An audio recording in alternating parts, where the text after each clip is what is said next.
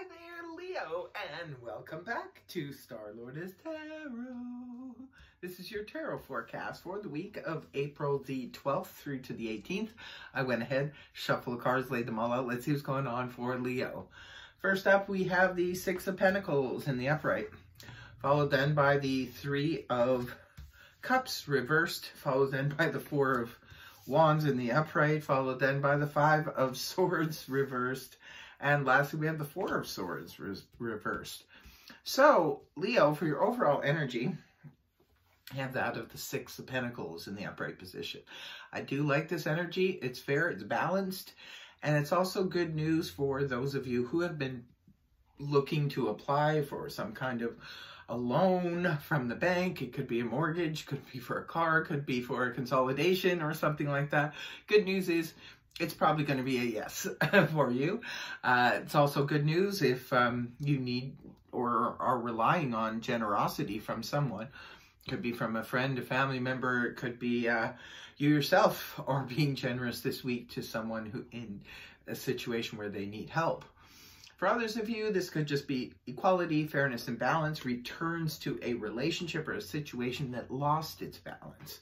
So coming right at the beginning of the week, we have the Three of Cups in the reverse position, pointing back to the Two of Cups in the upright, which is a card of bonding and clicking and uh, connecting with one other person. See, in the Three of Cups, this is where we're bonding and connecting to um, a group, a small group of people, but this can be like where everything goes really well, we're celebrating something, the party's going really well. When it's in reverse, however, this can represent party gone bad, I call it sometimes.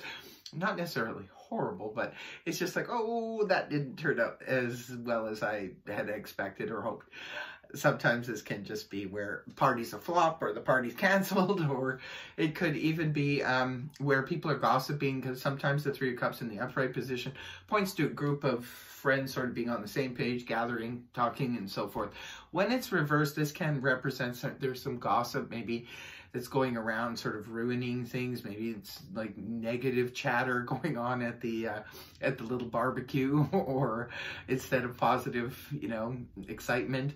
It could just be for some of you, perhaps you're tired of socializing with other people and maybe you just want to be with that other one person in the Two of Cups, just you and them. Maybe you just want some quiet times, not wanting to socialize a lot this week, which is unusual for Leo. Leo's a very sociable sign and generally likes to, but it could just be for some reason, maybe something turned you off. Maybe you went to a small gathering and things didn't go as well as you expected or hoped, and uh, maybe it's just not for you and you walked away.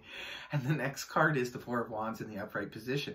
This points to reaching some kind of a goal that was, um, you know, that something that you've been working at for a while. It could be for work. It could be a work project that you've been working on and you finally reach that summit, reach that point where there's a completion there and everybody's happy with it. Others of you, this could be, um, say, having a housewarming party. Uh, maybe this is an engagement party. Maybe you're celebrating something like that. Or it could just be happiness in the home. It could be, well, our home is now built and we can finally move into it you know, that kind of thing. Whatever the situation is that fits you, but there's a certain level of completion going here, going on here. The the day before with that party gone bad energy, I don't know what's going on there. You'll have to leave a comment in the comment section below if this resonated for you. Remember, this is these are just general readings. Only take what does resonate. It's not going to resonate for every single Leo out there. So check your moon, your rising, and your Venus too. The Five of Swords is in the reverse position for the next card. This is moving on towards the weekend. The Five of Swords in the upright can point to uh, some, you know, nastiness. It can point to where people are at odds. This could be a group of people, could be a group of people at work that are, you know, uh, having differences uh, verbally you know, sort of telling each other off. When the card is inverted, however, this is where the, the battle comes to an end. So if it's not playing out in the in the field, like maybe you're just not having any complications, or you haven't recently had any complications with, you know, family members, neighbors, friends, uh, workplace people, then it could be conflict because sometimes the five of swords in the upright can point to conflict within ourselves where it's like the head versus the heart or you know we're of two minds of something.